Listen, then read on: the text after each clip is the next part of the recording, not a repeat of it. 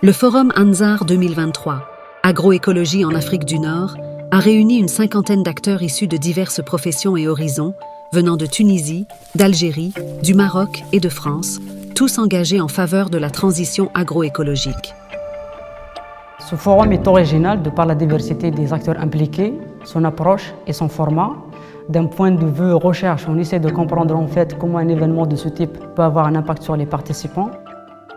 L'objectif de ce forum était de réunir les acteurs de l'agroécologie à l'échelle du Maghreb pour renforcer la dynamique encore balbutiante de transition agroécologique des systèmes alimentaires. Nous voulions aussi savoir auprès des acteurs quel était l'état d'avancement de cette transition, les freins et leviers qui pouvaient être actionnés ainsi que leur vision.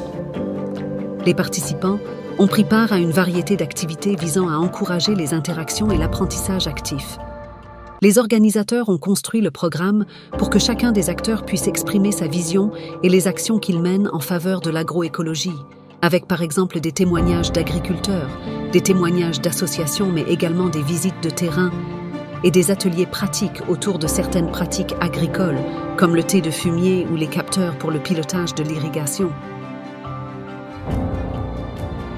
Cette mise en réseau entre les acteurs permet de renforcer les collaborations transnationales et de faciliter la diffusion des pratiques agroécologiques au-delà des frontières en faveur d'une agriculture durable.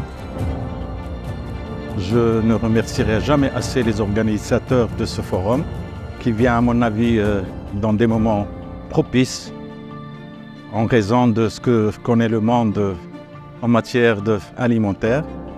Et ma foi, euh, les efforts ne peuvent qu'aboutir à des résultats probants. Les organisateurs du Forum Anzar espèrent que ce forum contribuera à la mise en place d'un réseau en faveur de la transition agroécologique des systèmes alimentaires au Maghreb, à l'heure où ceux-ci sont plutôt basés sur une agriculture conventionnelle intensive.